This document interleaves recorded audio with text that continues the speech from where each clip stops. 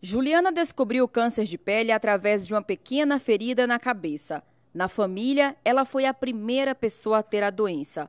O tratamento precoce ajudou na retirada do câncer, que poderia evoluir para um tumor maligno. Eu descobri o câncer de pele é, através de uma feridinha. Notei, notei na parte acima da orelha, entre a orelha e o couro cabeludo, uma feridinha que nunca cicatrizava. Então, isso me chamou atenção porque, a princípio, eu achei que era uma feridinha comum que iria cicatrizar com o tempo, como a gente tem às vezes na pele. Só que após alguns meses eu percebi que não cicatrizava de jeito nenhum. Então, fui ao meu dermatologista. Quando ele viu, ele desconfiou do câncer de pele, fizemos a biópsia e confirmou.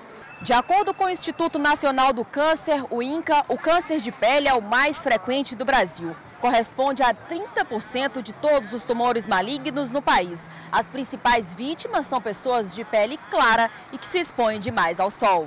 Esse mutirão, na realidade, a grande finalidade é alertar a população sobre o sol o sol, principalmente atualmente, né, que o nosso sol está muito intenso, e ao mesmo tempo detectar os casos de câncer de pele, os quais nós detectamos e encaminhamos para a cirurgia já.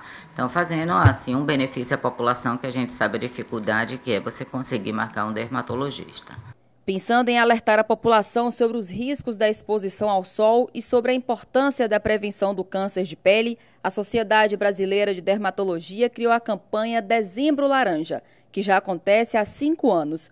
Uma das ações é o atendimento gratuito com exames e consultas com dermatologistas. Salvador está entre as cidades contempladas pela iniciativa. Alguns tipos de câncer de pele eles são basicamente produzidos pelo sol não, é, não tem outra causa, certo? Então, como o carcinoma basocelular é o mais comum, é o mais frequente, na realidade é o maior, é o que tem maior índice no mundo, é o basocelular. De todos os cânceres, é o que mais nós temos. Então, ele tem uma relação do com o sol. É basicamente o sol que é a quem faz, produz o carcinoma basocelular. Principalmente nas pessoas de pele clara, olhos azuis, são pessoas que são mais suscetíveis a ter esse tipo de câncer. Quem já passou por um câncer sabe a importância de estar permanentemente atento. Raras vezes eu tomava até a precaução necessária. É, ainda mais a gente jovem, a gente gosta muito de estar com aquela pele mais moreninha, um pouquinho mais bronzeada, então até seguindo um pouquinho essa tendência, eu gostava muito de tomar sol. Só que não tomando os cuidados veio a consequência. A gente sempre acha que vem, que nunca vai chegar perto da gente, que é uma coisa muito distante. Pelo fato de eu ter uma família muito branquinha, de nunca ter tido nenhum caso na minha família, eu achava que era praticamente impossível acontecer.